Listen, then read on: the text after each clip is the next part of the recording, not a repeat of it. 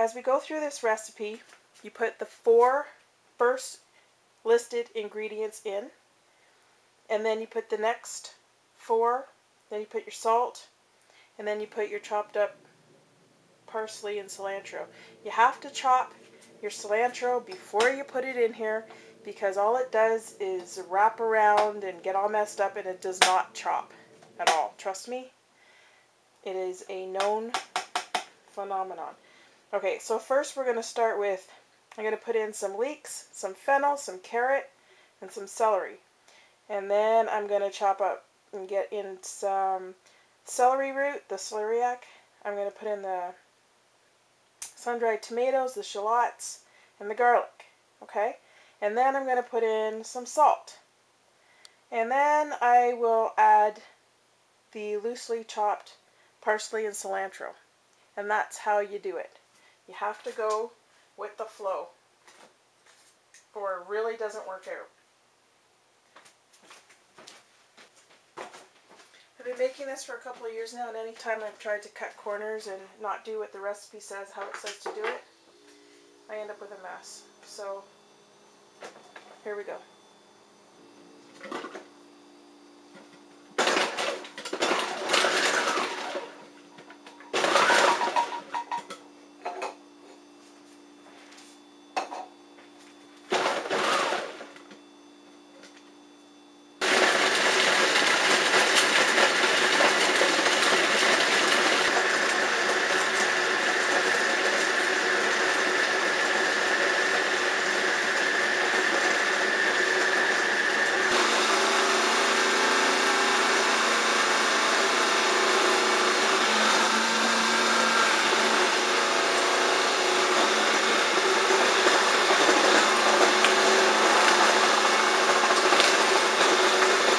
Sun-dried tomato.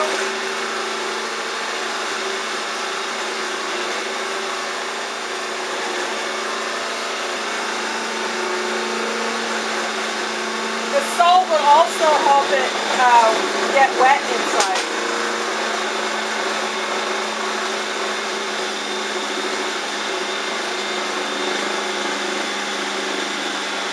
It adds some weight.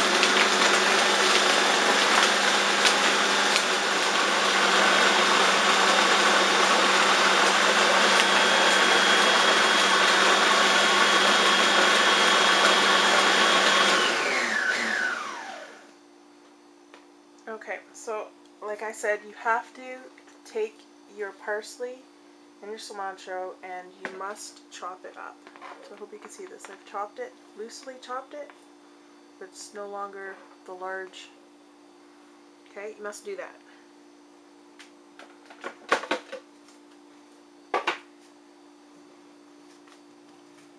See how this gets watery after you put the salt in? There's like a watery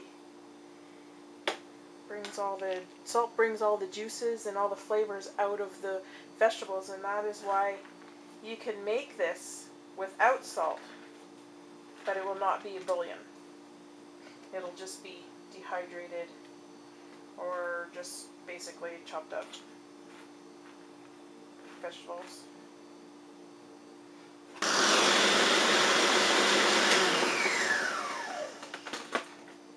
okay so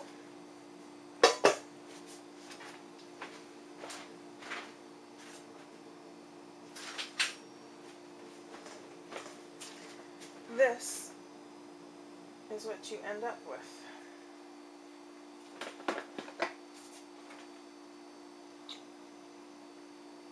Okay, so you put that into jars.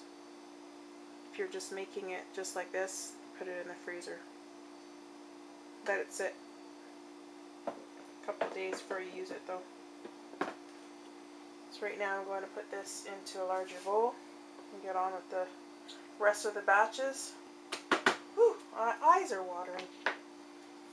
It's pretty potent stuff. Alright, through the magic of television, about four hours later, this is the end product. And I'll give you an idea of the consistency. Try to get a close up here.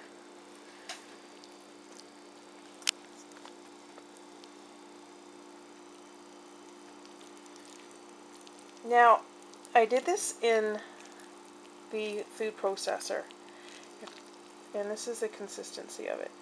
You put this into jars, and you put it into your freezer, and you use it as is. This is a huge, huge bowl. And now here's my fork. Here's the size of the bowl. It's a very, very large bowl. It's to the top. This is six batch batches. Now, I'm not going to worry too much about um, how large or how small the particles are right now because remember I'm dehydrating this down so it's going to end up being a powder so it doesn't matter at this point. What I'm going to do is I'm going to cover it and I'm going to leave it for at least a day. I mean I could I've left it for three days before. Um, I'm going to leave it for at least a day I'm going to cover it, put it in a cool place, put it in your refrigerator, um, and let the salt work on all of the vegetables and all the flavors meld together. Then I'll show you the next step. This is usually usually takes about three or four days to complete this.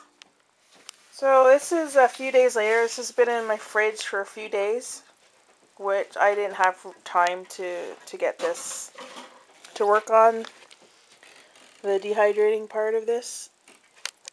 So I just left it in my fridge, which is great because the salt enables all the flavors to mix together and come come out of the vegetables, and so it's it's good to let it sit for a while. I've got my dehydrator here, got it all cleaned out. Um, parchment paper I'm using. I've got an Excalibur that I use. So I'm going to start scooping it out onto parchment paper because that you get these little grids and it's a it's a wet substance right now so I'm going to scoop it onto the parchment paper see how many trays it fills and I will see you in a couple of minutes. Okay so I got this all spread on I did about three and a half cups of, uh, of the wet product per tray. Okay, the vegetable bouillon is now in the dehydrator. In my Excalibur food dehydrator, I got it at going at 125. You want to keep it low.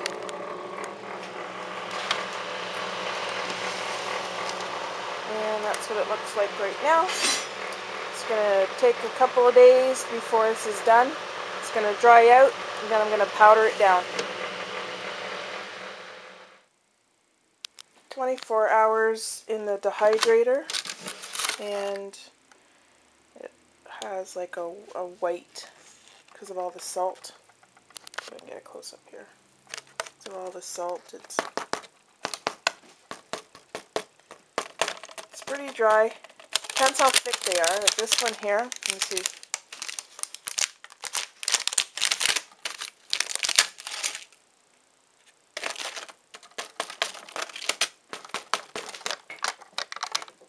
This one's hard pretty, pretty much all the way through, but there's one here I pulled out.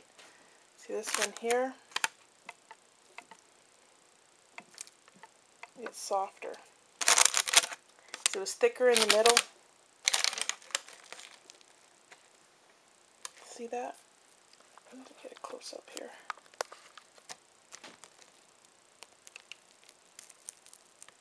Still soft in the middle of this one. So each tray that I go through, I'll check.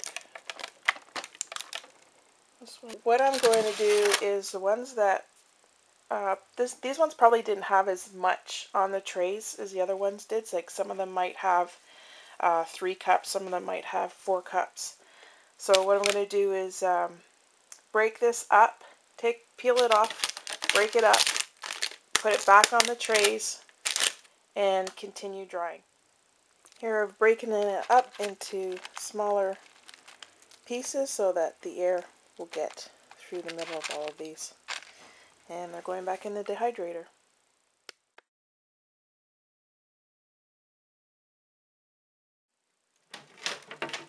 Okay, so this has been drying for uh, a couple of days. Let's see, I took that stuff off. So this, I had separated it, remember, it was kind of soft. Now it's very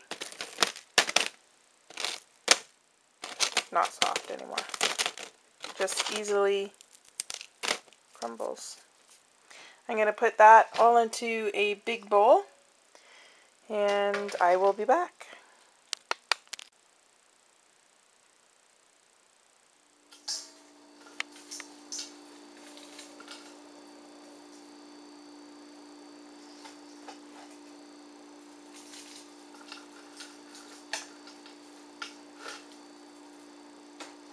I don't like a big mess on my counter, so I just grab another bowl, crumble it in.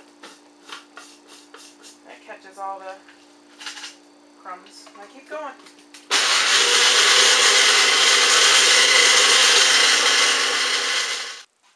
Something else I want to mention here. I just put this under some water. Um, it was it, it, it was extremely hot. It was so hot it sizzled when I put water on it. Uh, the blades are still hot after rinsing them off. I'm going to let this one settle. And I'm using a new blade.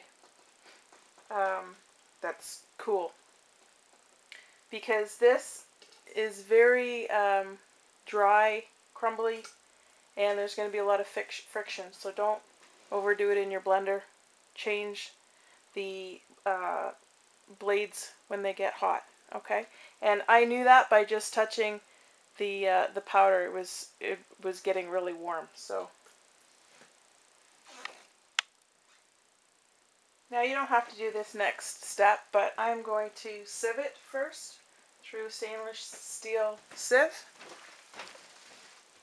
just to get uh, the majority of the if there's any larger uh, pieces in here. I'm going to sift it out.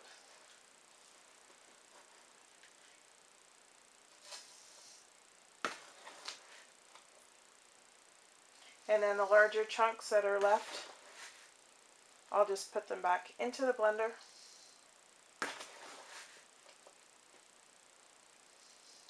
And uh, powder them down a little bit smaller.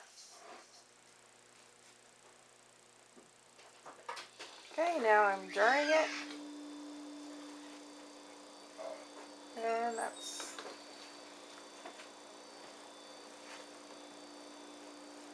the finished product. One more thing I wanted to add to this was um, when I was powdering this down, it was very dry because we still have the house heat on. It's still cold outside, so it is very dry in the house. Mind you, if I make this in the summertime, when it's humid, sometimes after I've powdered it down, I throw it back into the dehydrator for a couple of hours just to make sure it's all the humidity is out of it so I can store it for a long time, no problem. So in the end, I ended up with a large jar. Actually, I packed this right up to the top, and then as I started shaking, started shaking down, I got some more room in here. This is 1600 milliliters, or what they call 56 ounces. And this is uh, another 16 ounces. So um, this lasts me a year for seasoning all of my stews and sauces and gravies. And uh, I might use this to give away samples to family and friends that have been asking for it. And uh, so that's it. Hope you enjoyed the videos, the tutorial how to make this. It tastes great. This one I did at a 20% salt ratio as per weight. And um, that's the finished product.